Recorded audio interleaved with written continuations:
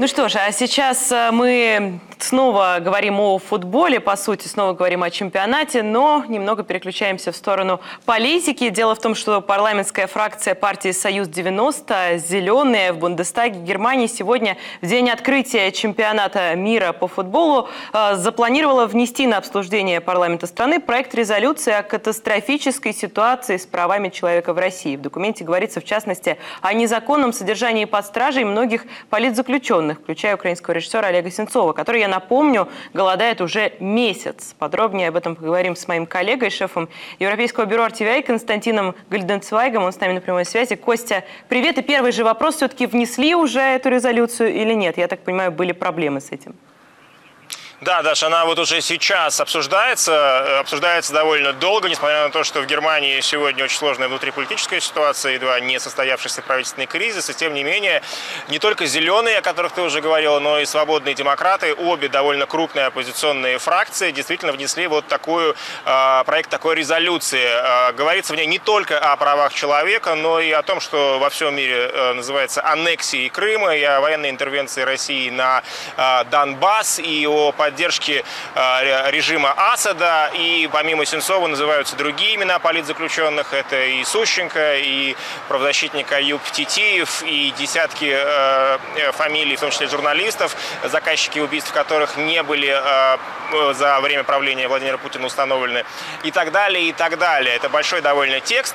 Судя по тому, что мы слышим сейчас, потому что обсуждение идет в Бундестаге прямо в эти минуты, резолюцию действительно поддерживают зеленые зеленые, поддерживают свободные демократы, но э, остальные партии, большинство из них, хотя они согласны с критикой по всем этим пунктам, не готовы к тем жестким требованиям, о которых, собственно, и говорится э, в этой резолюции. А требования эти таковы, что э, члены немецкого правительства, включая э, канцлера Меркель, должны либо отказаться от посещения э, российских э, стадионов во время чемпионата мира, в том числе игр немецкой сборной, либо э, сделать так, чтобы эти поездки были увязаны с политическими э, дебатами, с обсуждением ситуации с правами человека, с попытками поддержки притесняемого гражданского общества в России и так далее, и так далее. В общем, э, вероятность, что эта резолюция сегодня будет принята, не так уж высока, но, по крайней мере, э, сегодня вот этот час с лишним в Бундестаге, это такая лишняя возможность предоставить трибуну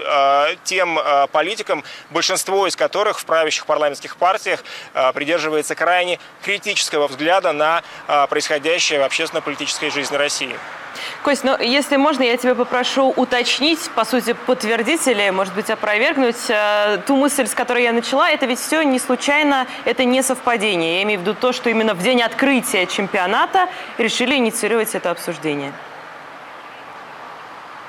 Конечно, да. Вот мы говорили с одним из инициаторов этой э, резолюции, э, политиком от Зеленой партии, специализирующимся на российской, э, внешней, российской отношениях с Россией, Ман, э, Мануэлем Сарацином.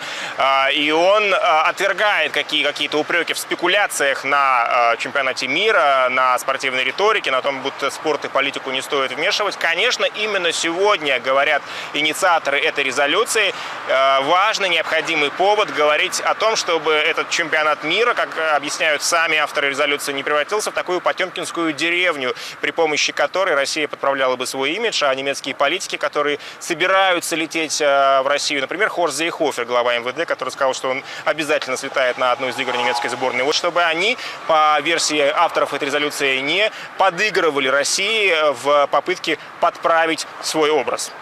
Еще, если коротко, если ты можешь добавить что-то к вот этой реакции в Германии, как реагируют в других европейских странах? На официальном уровне, опять же, или на уровне отдельных структур есть что-то подобное? Ну, например, здесь сразу же приходит на ум Украина, да, где крайне негативно относится к чемпионату. Что у других стран?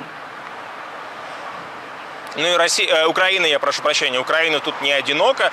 Э, сегодня же похожая резолюция обсуждалась и была принята, к слову, в отличие от Бундестага, э, в Европейском парламенте в Страсбурге. Там за жесткую по отношению к российской политике резолюцию проголосовало подавляющее большинство депутатов Европейского парламента. Буквально накануне в Берлине у стен российского посольства, в частности, проходили акции протеста, пикеты защитников российского всего ЛГБТ-сообщества. А и сегодня, и вчера в Париже, в Берлине а, проходят акции протеста, не то пикеты, не то перформансы, не то футбольные матчи.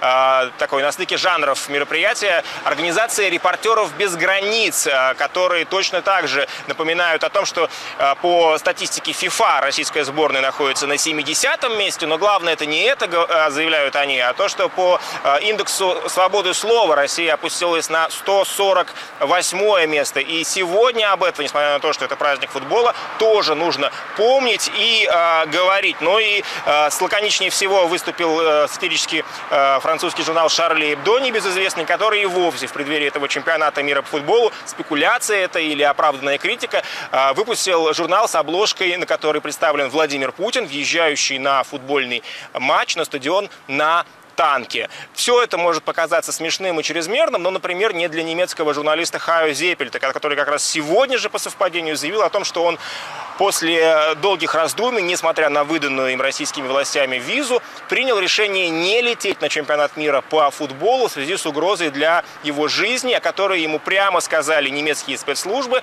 и министр иностранных дел Хайку Мас, разговаривавший с журналистами немецкого канала АРД. Спасибо, вот Костя. такой фон всему происходящему в Европе.